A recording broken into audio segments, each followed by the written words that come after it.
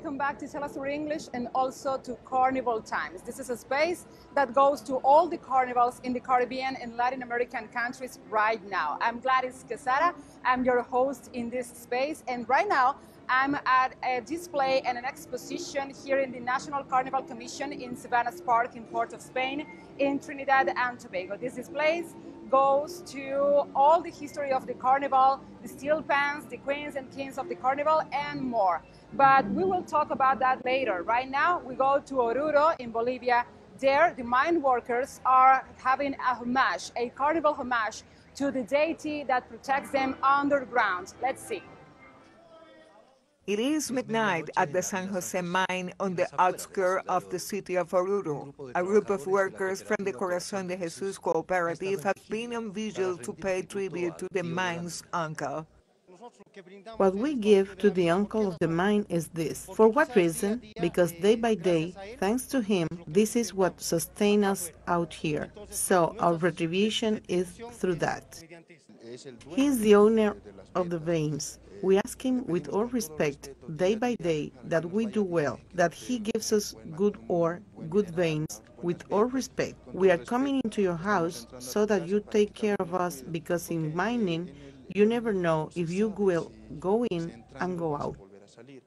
A white table is offered with a kind of cookies made with starch and sugar, with the figures of what is asked for wealth, goods, health, and llama are offered, the heart of which is thrown into the holes where the uncle resides. At Carnival, it is the uncle's birthday. We give offerings from all the workers so that the uncle takes care of us in the mine. But also, the uncle will give them more ore. It has been our custom for years. Before Spanish colonialism, the indigenous people were farmers or hunters and worshiped deities, the sun, the moon, the wind, and the hail. And they were forced to work as miners and accept the Catholic religion, their God, and saints. These natives, turned into miners, decided to make their own god, and with the mud and clay from the mine, they made a small statue, but in human shape, just like the virgins and saints above. With the difference that they put a piece of pure mineral as the heart, and with that they made the image. In all the mines, there is the uncle, in different parts and sides. Almost naked, he is exhibit his masculinity. He is invited to cigarettes, which he consumes immediately, and also alcohol. And in his company, alcohol is drunk and cigars are smoked as well. Miners live in Jocaliv suites, request for welfare. The Spaniards and the Spanish church that was above said, The God you have below in the mind is not God, but the devil. At almost 4,000 meters above sea level, in the undercuts, conditions are extreme, with temperatures ranging from intense cold to heat up up to 40 degrees Celsius. Air is scarce and is piped in from the outside. Mining in these mines dates back more than 500 years, and they continue to produce lead, silver, and tin. Desde la ciudad de Oruro, Freddy Morales, Telesur, Bolivia. These pictures showcase not only the queens and kings of the carnival here in Trinidad and Tobago. They are also pictures of the crafting people, the common ones, who give the splendor of the sequins, the feathers, the colors, the costumes, and the makeup. Yes, they make possible every edition of the carnival. And now we are going to other carnival in Latin American countries. It's the case of Colombia. In Barranquilla, Hernan Tovar brings us a story about how the people in Magdalena is showcasing their dance abilities and traditions. Let's see. In Barranquilla's pre-carnival, some places have been arranged to set the scene for this festival with famous figures of the local folklore, so the Malecon of the Magdalena River retains its importance also as a cultural and historical provider. It represents a lot because it was one of the most important ways for the other dance from the riverside towns to reach the Carnival of Barranquilla, and it will be adopted as the Carnival song. The tradition and joy of the patrimonial dances reaches this place with the Magdalena River as a witness, and give account of the cultural and artistic history that retains the liberating deeds. The dance of the paloteo is a warrior dance where we show that the sticks are the weapons that our soldiers took to fight. So instead of us taking weapons, we take some sticks in symbolism of the dance of the paloteo. The indigenous bread dance is a tradition that has lasted from generation to generation for more than 60 years, and it has been spread in the memory of the indigenous communities that inhabit the Caribbean region, their dances and attire.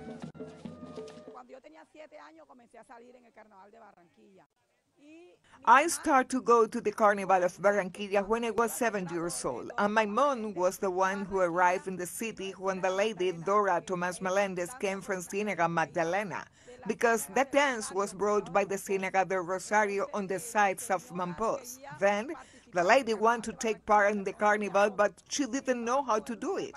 And my mother, as she was a woman from Barranquilla who liked the joy of folklore, her name was Marie Gomez, was the one who pushed for this to happen.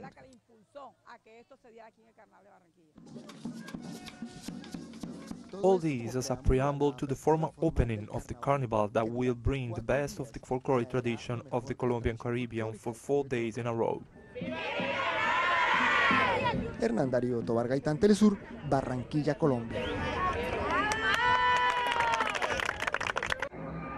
Usually we think that the carnival just comes and goes and then it's just celebration, the lights, the feathers, the dances. But the carnival is much more. It's also history and it's also a social archive of what is happening in every country.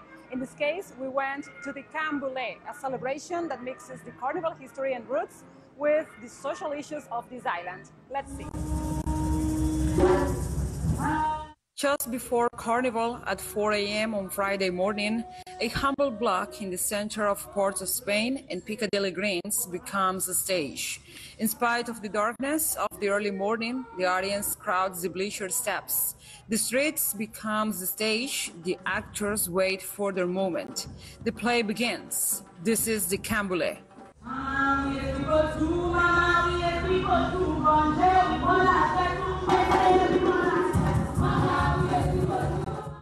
Members of the Idakeda group followed the script written by Eintou Pearl Springer and staged for the first time in 2004.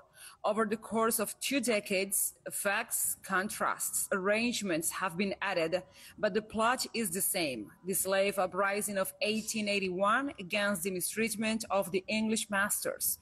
Those who, besides subjecting them to work without rest, deprived them of celebrating the carnival. On that remote date, also before the light of day, not a few died in order of, to gain dignity.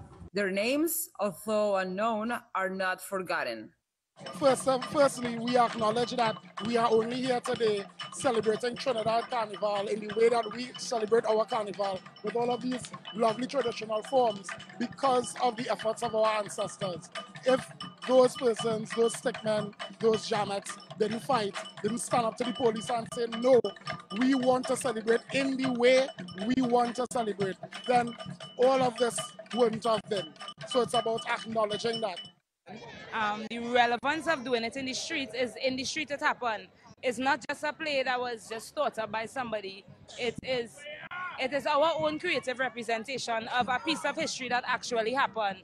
So the doing it in the street is part of the ritual of acknowledging all the blood that was shed for us to be able to have our carnival, acknowledging all of the, the sweat that was shed, all of the tears, all of the fighting, all of the people who died for us to be able to have the carnival that we have today. The term Canboulay is a popular adaptation of the French phrase that means burnt canes, because the beginning of the carnival coincided with the end of the sugar season when the cane fields were burnt to eliminate pests and clear the vegetable waste. This celebration derived in the Black Carnival with a humble origin. For this reason, there are no grandiloquences in the production that recreates it. Its values are centered in the typical customs that characterize the time, the live music with the African drums as fundamental base. Behind it, the theory and the academy. We do a lot of research on um, the time. So, of course, because we are talking about people who didn't write their histories down, they, they're not very present in the history books and they're certainly not present in the newspapers of the time. And so we have to dig into the oral histories, we have to dig into the songs of the time and that sort of thing. Dawn breaks in Port of Spain, and with the daylight, the play ends. And now we'll go to schools and community centers. The actors said goodbye to the late night audience that then joins a small parade of typical carnival characters that are already a symbol of the Caribbean and Trinidadian identity. Characters that will accompany the carnival from beginning to end and then start again and wait for another morning of Canboulay. For Telesur English, as a special envoy from Trinidad and Tobago, Gladys Quesada. Here in Trinidad and Tobago, the story goes like this. The white colonial masters banned the use of drums made of wood and other materials, so the slaves find alternatives in utensils from the kitchen and also this kind of containers that had an evolution and today they are one of the national symbols and also one of the authentic and native instruments. This is the steel pan. This is also one of the ways that percussion is done here in Trinidad and Tobago. Right now, let's explore about other traditions and other stories, but let's go to Pernambuco in Brazil. There, uh, there is a story about how the carnival is celebrated. Let's see. On the edge of the sugar plantations, in the sleepy town of Pau d'Alho, on the outskirts of Greater Recife, Pernambuco, one of Brazil's oldest frevo organizations, the Clube dos Lenhadores, or Lumberjack Club, prepares for its 117th carnival. O frevo é uma música muito é, sedutora. O clube carnavalesco ele trabalha com o frevo de rua quando sai às ruas, quando faz os bailes e também ele compõe os próprios frevos, que são os seus hinos também. O hino de, do Lenhadores é, é um hino muito antigo, mais de 100 anos. Frevo is a genre of music normally only played during carnival, but has its roots in waltzes and polkas that were popular in the late 1800s but considered too slow to dance to in carnival. Local musicians sped up the tempo and played the European influenced pop melodies over Afro Brazilian dance rhythms. Antigamente a gente brincava mais livres, a gente tinha mais sentia mais protegido. Hoje a gente tem que ter cuidado no dia a dia com quem a gente está brincando, com quem a gente está do nosso lado, porque no mundo hoje tem muita maldade. E aí hoje a gente brinca mais reservado. Mas não deixa de brincar não, viu? Que o Carnaval de Pau d'Alho é um dos melhores carnavais. While carnivals in other regions of Brazil have been commodified to the point where only rich people can afford to get near the bands, Pernambuco's grand old frevo clubs like Lenhadores keep the tradition of carnival alive as a free festival made by and for the working class. Não é, nós, não é nem a gente querer que ele não se acabe. É que o povo de Paudalho sente falta de alguma coisa. Pegaram-se no Lenhadores.